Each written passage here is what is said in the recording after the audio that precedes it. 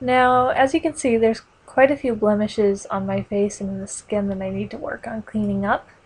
So that is going to be the next step, and this is going to take a little while. So hang in there.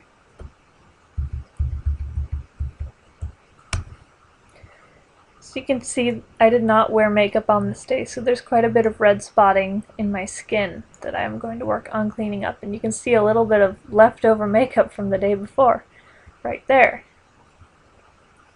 So I've got my spot heal tool selected and content aware. And I've got a pretty small brush size, and it really depends on what you're cleaning up. So I'm going to work on cleaning up mainly some of these larger spots.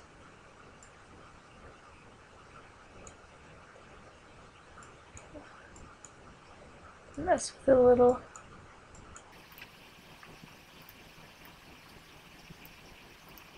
Now, if you want to be a really cautious person, you should probably be using a layer for this. To keep your work from getting ruined. I'm pretty confident when I'm using Photoshop though, so I usually don't use layers except for very special circumstances.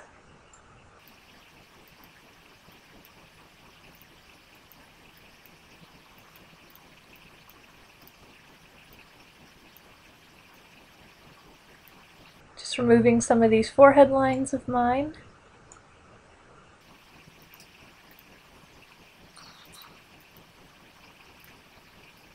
Just really trying to clean up some of this stuff.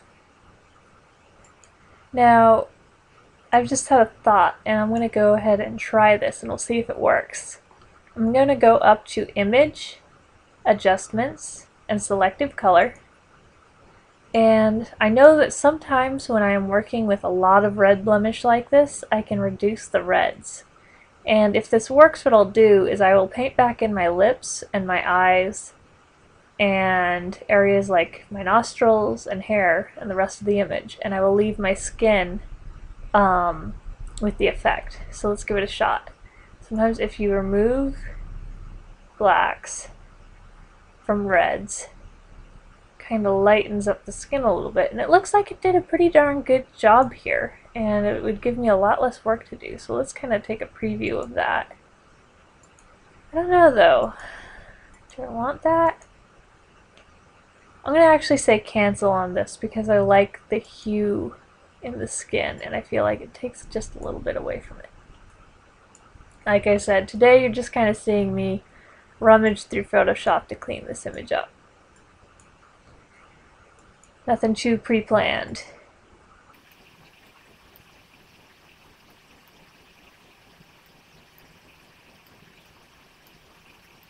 probably speed this process up a lot in post so you guys don't have to watch me do every single bump on my face.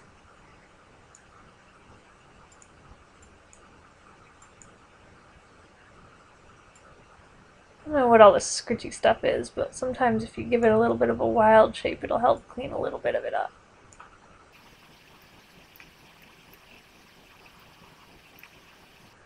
If you want to destroy a texture, this is the best way to do it. Just give it a little scritchy line through it. It won't know exactly how to follow the process with content aware and it will get rid of your texture in most cases.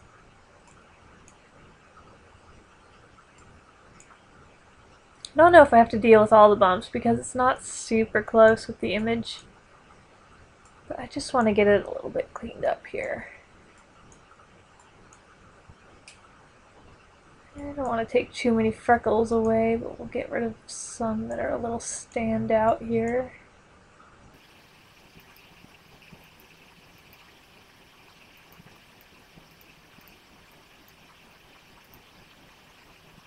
Back up just a little right there.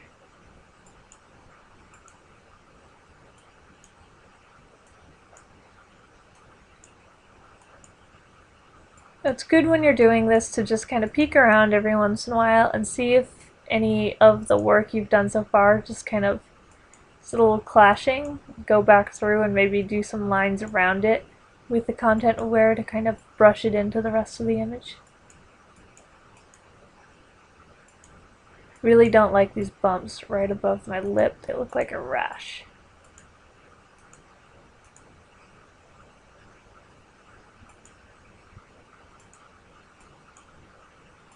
try to brush those away. Got pretty lucky there. Brushing right above my lip, that usually does not work. Usually you want to go right along the line when you do that and it'll stick with the line.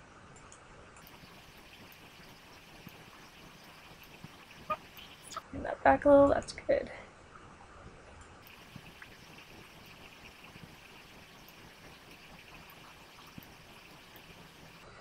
Got a little bit of missing lip right here, just because I didn't make up up, didn't have lipstick on. Sometimes the edges of my mouth get a little skin toned, so I will fix that up a little later.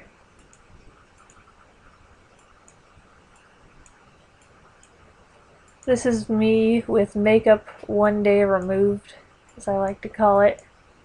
As you can see up here, there's still a little bit of this eyeshadow and eyeliner going on, but pretty much the rest of my face is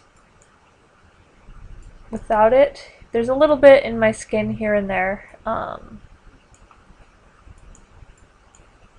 but for the most part, it's just eye makeup. Get that cleaned up in a little bit. I'm going to get rid of that right there in my lips. You have to be careful when cleaning up lips. You don't want to take too many lines away. Should be a little texture to your lips. Just get right rid of anything that looks like a sore.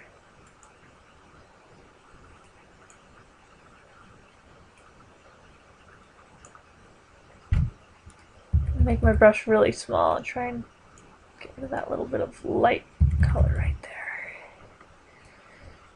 Alright, I think we're mostly down to the neck now. Got that little bump right there.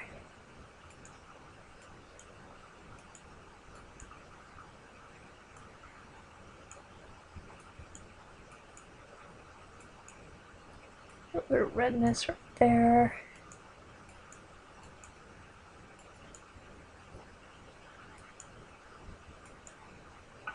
Alright, zoom out a little. Looks mostly cleaned up, but I'm still not happy with this area right here. So I'm going to work a little more on trying to blend that in.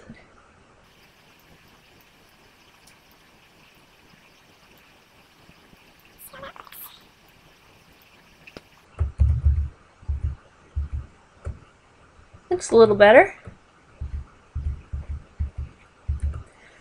So now I am going to go to, let's see, I'm going to go ahead and go to filters and liquify.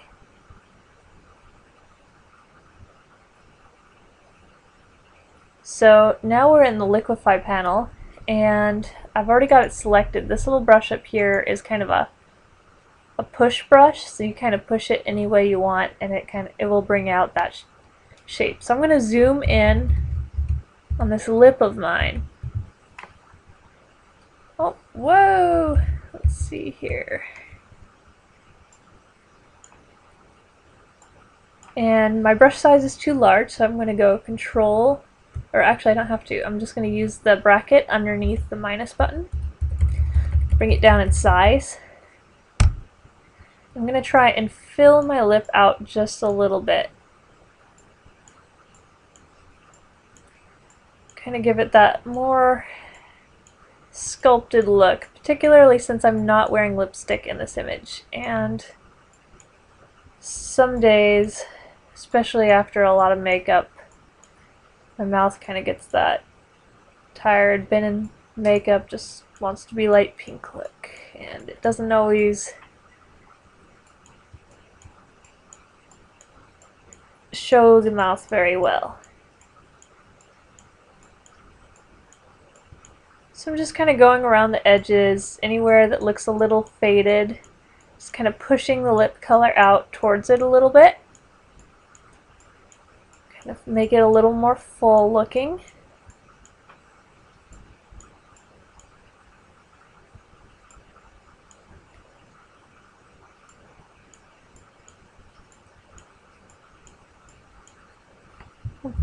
Increase the brush size just a little here. Get a little faster work done.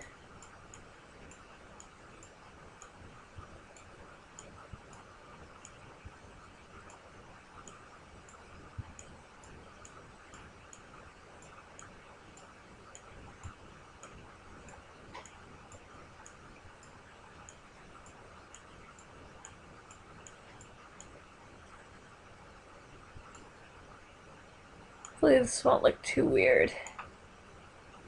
Does, I will fix it up just a little bit. I'm going to make my brush a little smaller again. Go up here to the upper lip. Just kind of bring a little bit of that in.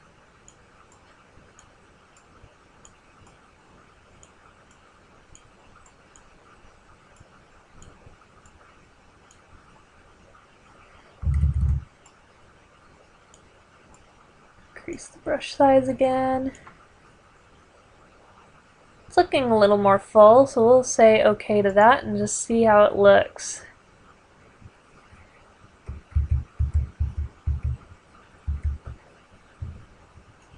I'd say that looks fairly alright for starters. I might do a little shift around it later on to blend it in a little more. So now that I've cleaned up my skin, I've got my mouth kind of shaped up a little bit here. I've got the foreground of the image lit up. I'm going to start working with my eyes. Now since we've got this nice little sun ray kind of coming in behind my head here, I don't really want to take away from that too much with how it looks with my eyes. So I'm going to try and make sure that I don't overly saturate my eyeline, eyeliner.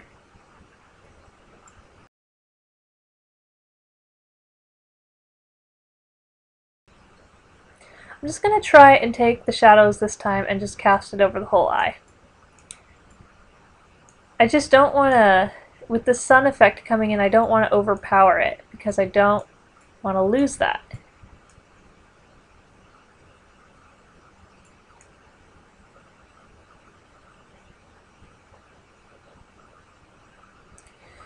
So I'm going to call this good for now at least. I might back it up a little later. And I'm going to go over my eyebrows. So for this, I'm actually going to move it back down to mid-tones because they just seem to be a better blend for eyebrows. I call that one good. A little over this side.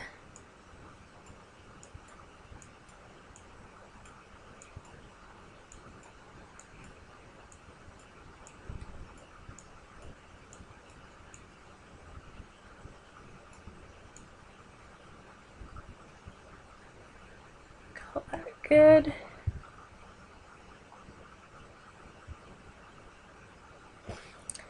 And I'm also noticing that I also have quite a bit of um, sleepy eye or eye, shot, eye circles, so I'm going to work on actually removing those now. That was also might have been um, kind of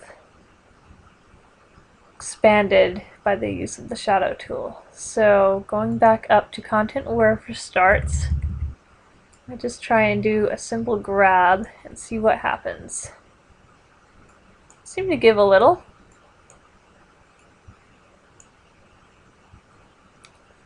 Let's see.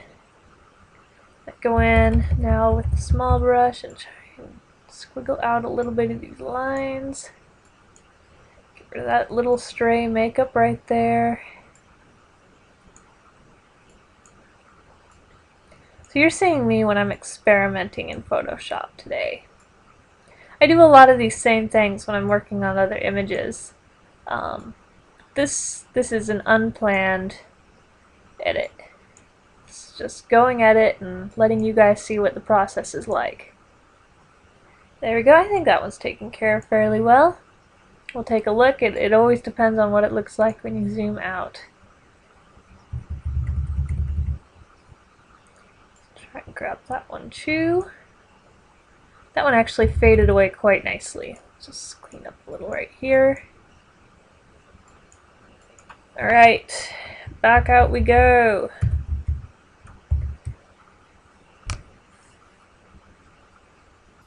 Head over to part 3 of this tutorial where we will finish the color and finish this image. Thank you for watching.